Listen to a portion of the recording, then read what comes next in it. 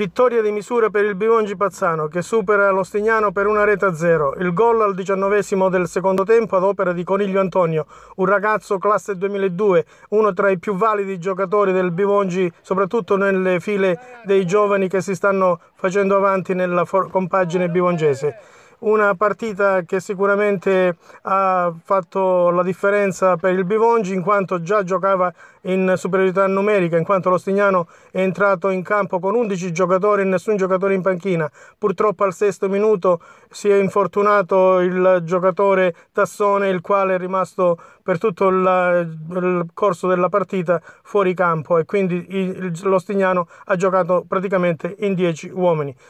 il mister